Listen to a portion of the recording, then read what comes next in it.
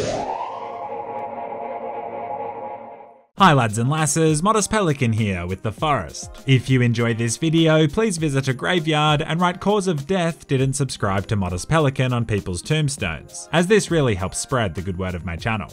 I've always wanted to play this game and so I messaged my friend Zanny and asked if he was down and he said yes Jeff. He enjoys spelling my name incorrectly. If this video gets 70,000 likes, I'll make The Forest part 2 and legally change my name to Jeff with a J. So we load in on a plane and my character is already reading a survival guide. That seems like a bad luck, self-fulfilling prophecy, but at least we've got a kid, which is great. Not the parenting part, I'm just happy that my avatar isn't a virgin. Like every survival game, the plane crashes and we are knocked unconscious. As I wake, some man covered in blood is taking my child. It's been like 40 seconds and so I haven't developed much of a relationship with the little Malacca yet, so honestly better him than me. I awake for a second time and quite poetically the first thing I see is my kid's drawing. I can't help but notice how out of proportion his stick figures are. This kid can't draw for shit. On the positive side, I meet another passenger who of course is Zanny. Hey man. Hey! Bro, you should you should see yourself, man. Oh, dude, I got an axe or something. oh, dude, me too. Kill it! Kill it! All right, bro, Kill let's the ki- fuck. I got one. You got one? I have. A, I killed the bird. Nice, bro. Two bros, against all odds, survived a plane crash together and now must outlast and conquer this godforsaken forest. The game is also pretty adamant about us saving my son, so I guess we'll chalk that in as a secondary objective if there's time. I immediately slay some dinner for us, and we also get our first glimpse of the ocean. As we know in survival games, it's crucial to be efficient on your first day because when nightfall comes, it's never good. I'm not a great judge of character, but the man who stole my kid seemed like he had definitely eaten some of the other passengers. We proceed to drink our only two soda cans and then get a fire going to cook some meat. More. Oh, your bird just landed on your hand. What the f- Kill it! Kill it! Kill it! Quick! Shit, I hit the fire, bro. no! no! Oh god, the meat! Oh, the meat! the meat's The meat. everywhere. Oh, we're gonna die. Is it What- good? What happened? I know. I think we're just eating Oh, raw no. meat. All right, let's just move on. Let's move forward. I feel like we need to. We need to just. Yeah. That was a good learning experience. What's this? Is this? Is that a head? ah! Zan, did you live? Yeah, I'm alive. I'm alive. Oh no. Bro, I collected a human leg. Equip. Look what I'm holding. As nightfall sweeps over, it becomes immediately apparent that we have not had an efficient first day. The fact our only light source is a Bic lighter also makes things just that little bit more terrifying. If you're wondering why Zanny's name is Mullerstan, it's in relation to the German soccer player and absolutely not the high-ranking German official Heinrich Müller who operated during World War II. Or so I assume. Fortunately, we find some huts where we can safely spend the night, and most importantly, fresh water. We both swear we can hear distant screams, so rest in peace to my baby boy. He'll have to show his disgusting drawings to Jesus in heaven now. Morale is surprisingly high, but little to our knowledge, something was watching us from the darkness. and voila. Nah, you, you brought light into our home. I did. See? Told you, man. I'm a fucking gamer. Yeah, bro. Told shit. you. There's Um, people right here. this is not sanitary, man. Yeah. Did you hear that? Oh, what the fuck? Just take, play cool, bro. Play cool. Hit him with. Ah, ah, ah. Ah, ah, ah. Just coming with a human. I want more.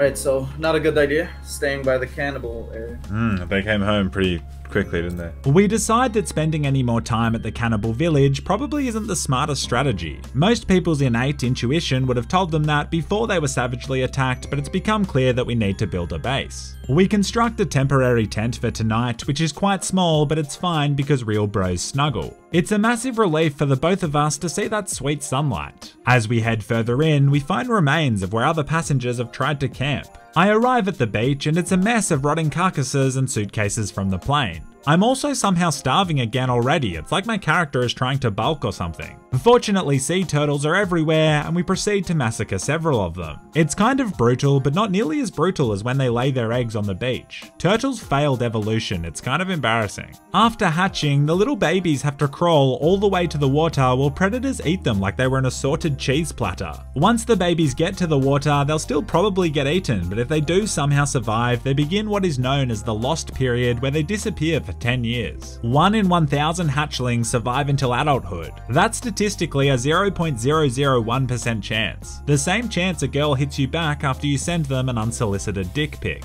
Adult turtles are just successful dick pics, and so I have no moral dilemma about harvesting their meat to cook up for dinner. We decide to search the yacht and then build up a base on the cliff. If the cannibals come again for us tonight, we need to be better prepared. I just got three snacks. Probably shouldn't have taken all of them. That's alright. I'm, I am literally starving to death. Well, eat a snack or something. We're just gonna build a small cabin. I like it. Yeah, it's safe. It's a good view. I mean, it's a little misty around here. I'll be honest with you, bro. But We're building a fucking cabin, dude. Dude, that's two games today that I've played that does that. it looks cool, man. the screams will never not be funny to me. With the cabin built, we at least now have a place to hide. We proceed to build quite the camp and then have a genius idea. If we can construct a staircase down to the water and build a raft, then should things get out of hand, we'll have an escape route. We proceed to start grinding, and I mean, if a survival game doesn't have you hitting trees for hours at a time, are you even immersed? The construction mechanics in this game are surprisingly deep, and so we decide we'll spend a few days here on the beach establishing a base of operations before we make a serious trek inland. Apparently, I have to find my son, but he I- does not understand that daddy needs to make a catapult. That's not much, Zanny, but it's home. They're coming! Oh, they're there's- coming, they're coming! They're here, they're here. Oh god. Not the house! Not the house! Defend the house, Zed! Come here, bitch! Fuck you! Yeah, I cop that. The trick is just to become the cannibal, you know? Bro, there's a cannibal just standing here. Oh, bro, there's a lot of them. They're just watching me. How many? Oh, they're not just watching me, bro! Fucking cannibal. We can absolutely make a zip line from like here over there. Oh my god, it would be insanely epic. Daddy, they ate my leg! Yes, son, but look. Look. Whee! Oh, I wonder if my rabbit trap worked. It caught a rabbit, dude! Oh, nice, bro. Kill Oh, it. yeah. I think you just press A and you just grab it. Oh, I got it. oh, fuck yeah. Yeah, I'll drop, I'll drop it. For, oh no, what the fuck? It was alive. I, I'm so, I'm so sorry. the base is pretty scuffed, and we most definitely invested too much time and resources into the back stairs, which were never actually finished. It's okay though, because it's time to build a boat. To construct a raft, we need four pieces of rope, which is one of the rarer items to find in this game and is often in dangerous locations. It'll be worth it though, because we'll be much safer on the water. I also learned that my son's name is Timmy, and I'm sure Timmy wouldn't even want to be rescued if he didn't have a safe boat to draw his shitty drawings on. Plus, the emotional scarring has surely already happened.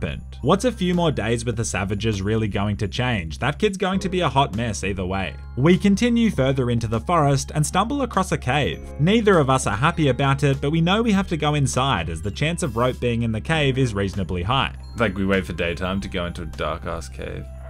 Oh fuck. Bye. Bye. What do you mean? Don't leave me in here. Oh! oh, wait, did you leave me? The sun on my what the fuck is this? I have to back out. Oh, All scared. This is frightening me. Oh, get out of here, you dog! Glossing over the fact that Zanny left me for dead, we forge forward and find another cave entrance. It's just as creepy, but then we find something interesting on the ground. Another one of Timmy's drawings, and again, it's completely unbelievable. This guy's spine is way too long, and the blood is clearly just careless red scribble. Also, why does the cannibal have hands and the dead passenger doesn't? The inconsistencies are embarrassing. Oh my god. Oh god, is, is that our son? Goal.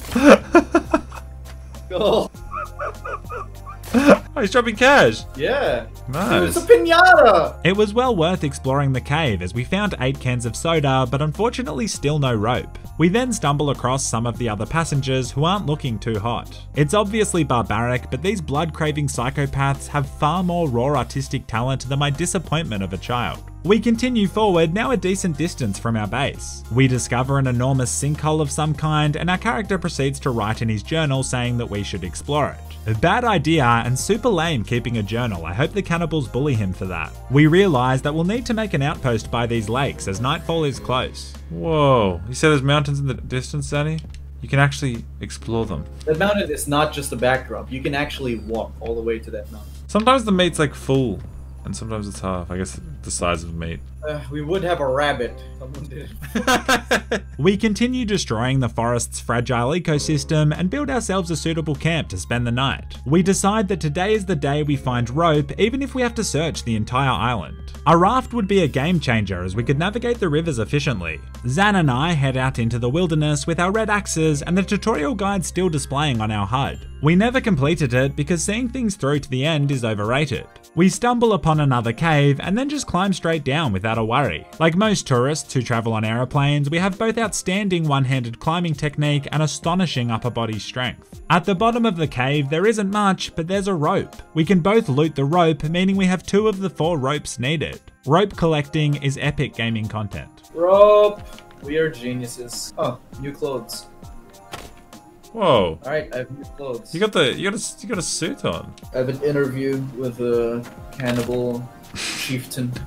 yeah, it's like this is human shit, not cannibal shit. Yeah, yeah, no, there's a Bible. Yeah. A Bible? I am the survivalist here. You really are surviving. It's because I live in a third world country.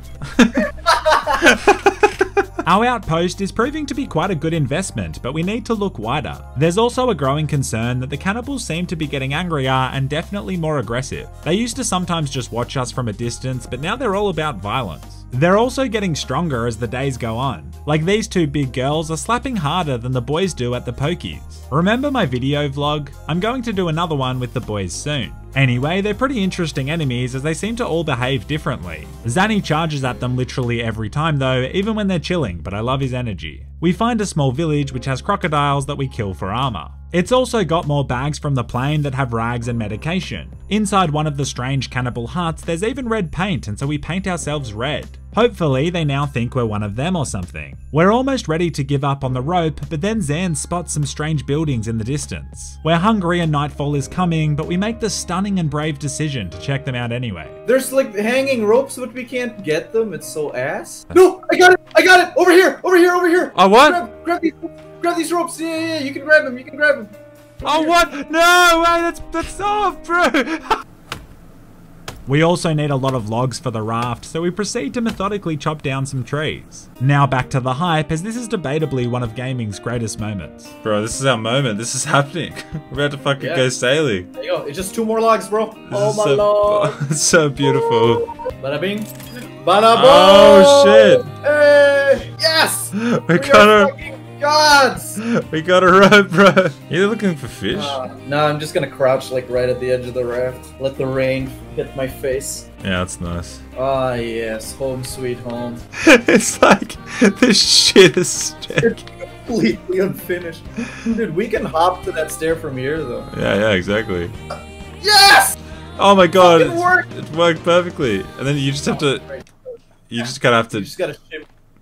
Nah, I slipped off. I'm not going to be winning Father of the Year anytime soon, but I'll definitely be feeling that sweet sea breeze in my face. This game is so fun. Thanks for watching, you absolute legends. Until next time, and as always, stay classy.